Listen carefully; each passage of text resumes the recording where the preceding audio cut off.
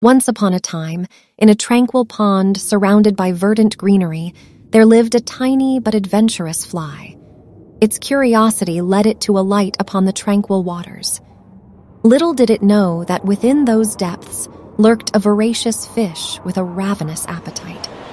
As the fly went about its business, it suddenly found itself dragged below the surface, never to be seen again. The fish had claimed its latest victim, savoring its hapless prey with gusto.